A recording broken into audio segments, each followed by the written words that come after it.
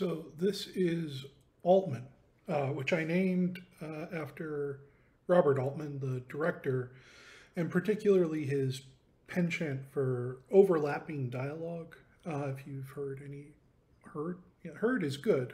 Heard any of his films. Uh, a lot of them depend on this idea of sort of dialogue that sort of talks past one another and, and over itself. Um, the basis of this patch is uh, you have two parallel uh, granular modules. And on the front page, we have control over their parameters, size, position, uh, density, texture, and pitch speed. Um, and then there's a final control here called sensitivity. And the sensitivity has to do with the fact that the output of these two granular modules are uh, envelope followed first to get a CV analysis of their amplitude, and then they're comparated. And the idea here is that whichever one of the granular modules is louder at the moment uh, will be given priority they'll sort of uh, gate each other. Um, and you can use a fade element to make that smoother or more jarring depending on what you want. Um, and so, you know, the, the, I feel like this is sort of weaponizing the some of the the things that people complain about with the granular module it sort of has this modulated quality to it and um, you know, here that element opens up these opportunities for um, some really interesting interplay between the two granular modules because uh, they'll have different amplitudes at different moments. Um, so beyond that, uh, you can also sync any of these controls so that the first granular modules control controls both of them. And that's because there are uh, cases, I'll just show one off, uh, where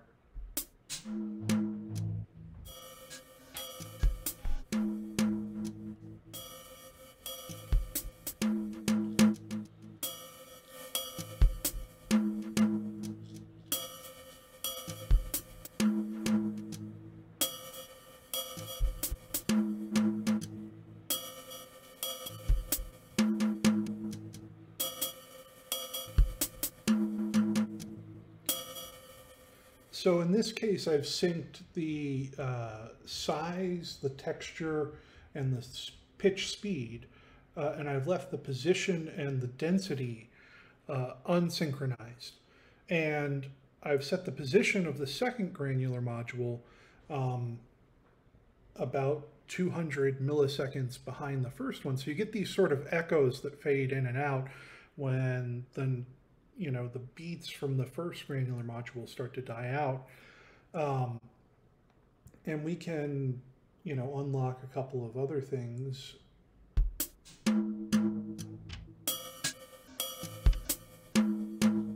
Add some fade.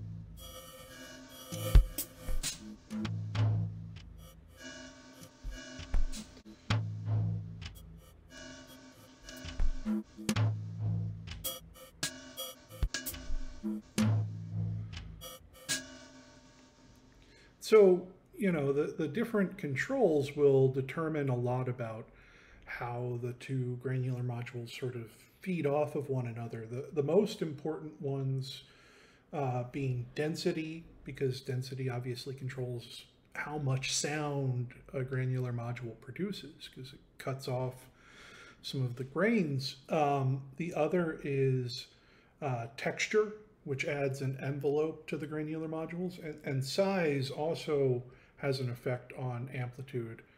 Um, so does position, obviously, because if one is a delayed version of the other one, the position nod module when the granular modules are unfrozen works kind of like a delay, then, you know, the hit will have priority, but the echo might chop something else off. And so there are a lot of uh, fun ways that these two granular modules and the controls here can be used to sort of, you know, um, remix something. I, you know, I, I'm using this app on my phone that lets me create little drum loops that I just sort of toy around with. Um, but I, I think it's good for that sort of application. It can also work for more of a live instrument.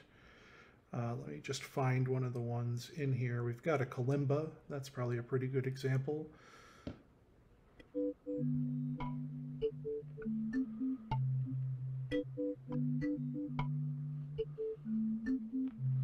And this is probably a good place for me to talk about one other feature that this has. The first granular module has a delay that's put in the feedback loop of the granular module. So you, if you want to turn that on or off, you just increase the feedback. Um, let's see if we can uh, give this some priority. There's one other control worth mentioning. Sorry. A, you know, I just sort of mess around with this patch and don't really think about what I'm doing. Now I have to explain it. Uh, there's this control called sensitivity. And what that does is it scales the output of the envelope followers to the comparator. So it makes them more or less intense as they go into this comparator, and the comparator is trying to see uh, which envelope follower has the more intense output. So it's a, another way that you can sort of shape how the two granular modules um, interact with one another. So, you know, if you have a granular module that by its normal parameters should be louder, but you want it to, to have sort of a less uh, prominent role in the mix between the two, you can adjust its sensitivity. If you turn that down, uh, then the comparators will pay less attention to it or it'll peak above the other one less often um, because it'll just have a you know lower total amplitude. But there's a delay on the first granular module um, that goes up to four seconds. So we can make this quite long.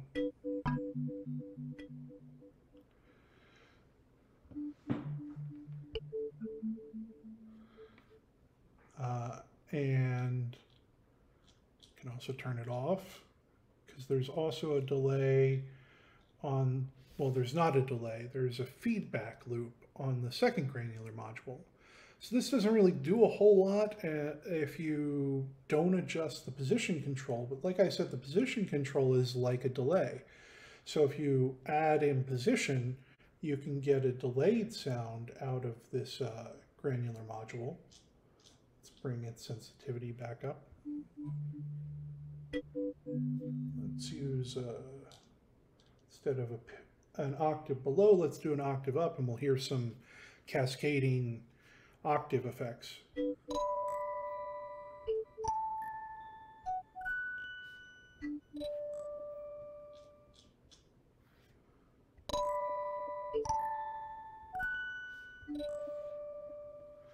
Uh, and again, we can use that with a pattern.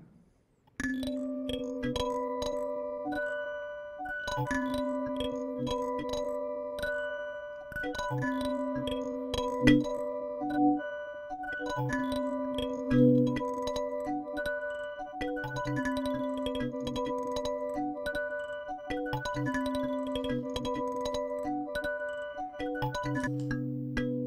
our regular sound.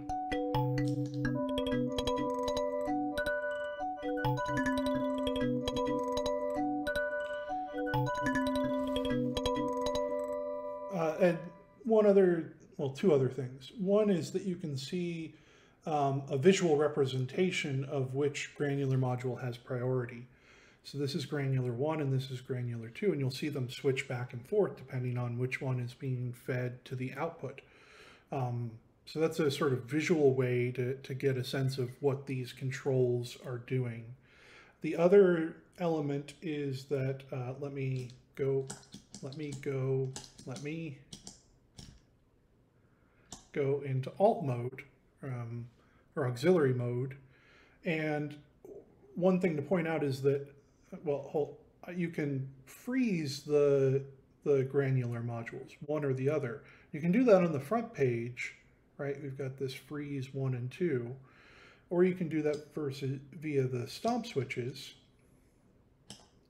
And then the right stomp switch affects both of them at the same time, but I'll point out if this one is frozen, these are flexi switches. So if you hold down, it's momentary, but if you tap it, it'll toggle the state. That goes for the push, the UI buttons here.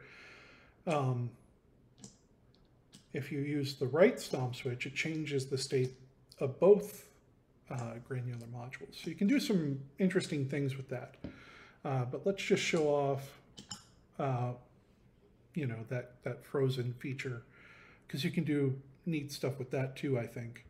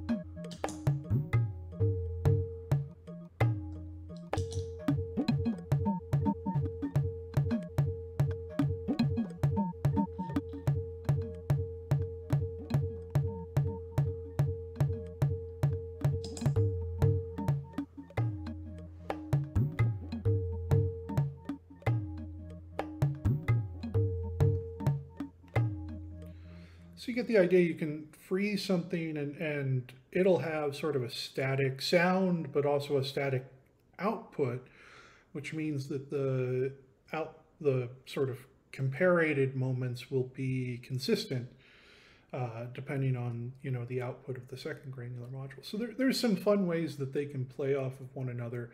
Um, you know, for me, uh, this patch is, is sort of really transfixing, to be honest. You know, you might have seen me zoning out there.